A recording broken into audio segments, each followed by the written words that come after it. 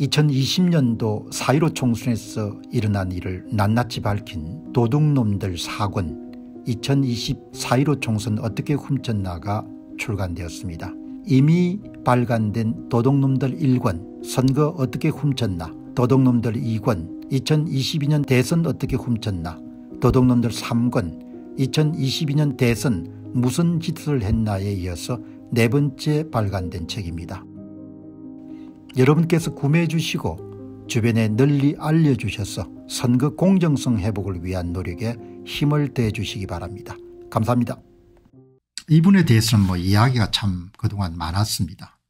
예, 이정근 씨 방송작가 출신으로서 강남 서초구청장 서초국회의원 이렇게 세 번 정도 그렇게 출마를 했습니다.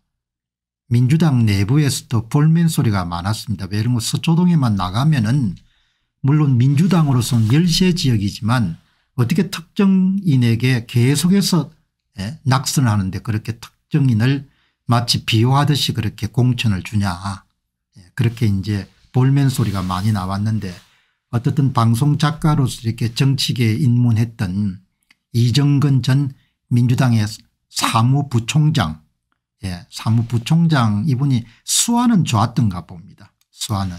예. 그런데 이제 제가 오늘 다루게 된 것은 이 사건이 여러분들 보시게 되면은 이게 우리나라에서 이런 검찰 구형보다도 재판부가 더 심한 여러분들 판결을 때리는 경우는 드물지 않습니까 아주 드물거든요. 그런데 그런 일이 일어난 겁니다. 그러니까 아마 재판부를 구성하고 있는 판사들이 열을 받은 것 같습니다. 예.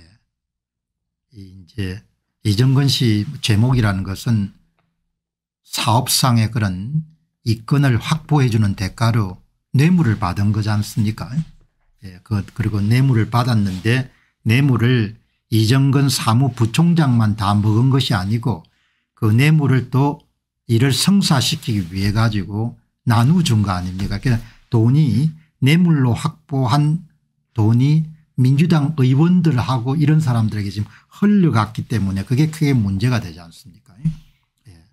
뭐 그런데 서울중앙지방법원의 행사합의 27부 부장판사 김옥곤 예. 이 아마 다른 두 명 또 판사들이 있겠죠. 예.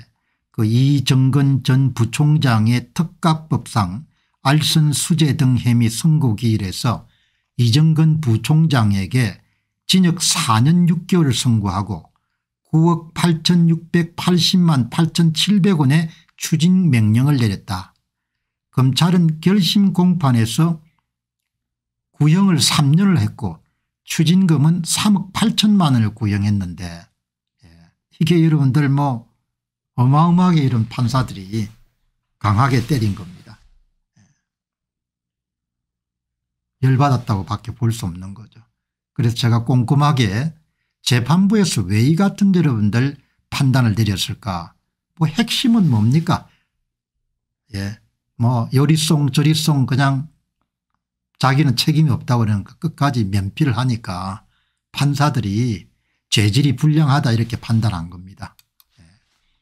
재판부의 이야기는 피고인은 고위당직자라는 직위를 이용해서 정치자금과 공무원 공공기관의 임직원의 직무에 관한 알선의 대가로 약 10억 원에 이르는 금품을 수수했고 일부는 적극적으로 요구했다. 그 과정에서 정계 및 관계 인맥을 가시하면서 특수관계에 있는 것처럼 행동하고 알선 대상을 특정해서 미래의 구체적인 처분 내용까지 적시했으며 일부 알선 행위의 실행까지 나아가기도 했다. 돈을 줬다는 겁니다. 누구에게 민주당 국회의원에게 그래서 지금 야단 법석이 났지 않습니까 예. 수사 과정에서 증거인멸을 시도하였고 공판 과정에서도 대체로 객관적이고 증거에 반하는 주장을 범행을 부인했고 금품 공여자를 비난하면서 자신의 잘못된 행동에 대한 진지한 성찰을 보여주지 않았다. 정당인으로서 공무원에 준하는 고도의 엄결성이 요구된다는 점까지 고려하면 언벌이 불가피하다. 예. 아마 언변도 좋고 그런 모양이에요. 그 사업하는 사람들이 상당히 그 뭐 이런저런 많은 경험을 갖고 있을 것 같은데 이정근 사무부총장에게 그에게 해당하는 약 10억 원 정도를 뜯겼으니까 이게 참 문제가 큰 거죠. 예. 아무튼 간에 어, 검찰은 이 이정근 부총장이 21대 총선 출마를 앞두고 이분이 이제 서초구에 나왔을 겁니다. 서초구에 나와 가지고 그 아마 윤희숙 전 국회의원하고 맞붙었을 겁니다. 사실 여러분도 아시다시피 뭐 서울에 여러분들 49개 국회의원 선거구가 있지 않습니까 지역구. 이제 그 선거구에서 강남 3구 8개 자리하고 용산구에서만 미래통합당 후보가 이겼고 다른 데 다 패배한 거죠. 윤희숙 씨하고 서초구에서 붙었으니까 뭐 패배할 수밖에 없는 거죠. 그래도 그 선거에도 손을 댄 거 아닙니까 예, 그 선거에도 이걸 보시게 되면 은 강남구에도 손을 대잖아요. 강남구에도 이길 수 없는데도 대개 한 35% 정도 손을 대지 않습니까 예. 윤희숙 국회의원이 얻은 후보가 얻은 사전투표 득표수 100장 가운데 뭐내 기억이 정확하다면 은 35% 아니면 은25% 정도 손을 댔을 겁니다. 강남 상구가 서울 평균치인 35%보다 약간 낮으니까 한 20에서 25% 정도 되겠네요. 예. 뭐 전혀 당선될 수 없는 그런 지역에도 예, 사전투표에 손을 대니까 뭐 대단한 거죠. 예, 그 사전투표에 손을 댔지만 워낙 뭐 서초구 같은 경우는 몰포가 여러분들 윤희숙 의원한테 후보한테 주어졌기 때문에 이긴 거죠. 예. 어떻든 간에 이제 뭐 여러 가지 이쪽에서는 뭐 다른 이야기를 하지만 이제 여기서 이게 중요하네요. 예. 이번에 피해자가 된 박씨 사업가 박 씨가 수수한 금품이 차용금 명목이라고 주장해야 민사적으로 반환을 청구하기가 용이한데도 알선 등을 목적으로 금품을 공유했다고 진술하고 있다. 그러니까 아마 빌려줬다 이렇게 하면은 민사소송을 통해 가지고 좀 되찾을 가능성은 있는 모양입니다. 그런데 뭐 재산 같은 거 다 빼돌렸거나 그렇게 하면 뭐 민사소송 하더라도 소용이 없는 거죠. 그런데 이렇게 이제 정치 자금으로 공유했다 이렇게 하게 되면은 아예 민사소송을 뭐 불법 자금 이런 거로 아마 간주가 되는 모양입니다. 그러니까 자기의 피해를 감수하면서도 피해자 박 씨가 이정근 민주당 사무 전 사무부총장의 그런 예, 징계를 요구하고 있는 상, 상황이기 때문에 그러니까 예, 이렇게 이제 벌을 받게 되는 것 같아요. 예. 서초갑을 기반으로 수년간 국회의원과 구청장에 도전해왔던 이정근 전 부총장의 정치 경력은 사실상 종지부를 찍게 됐다.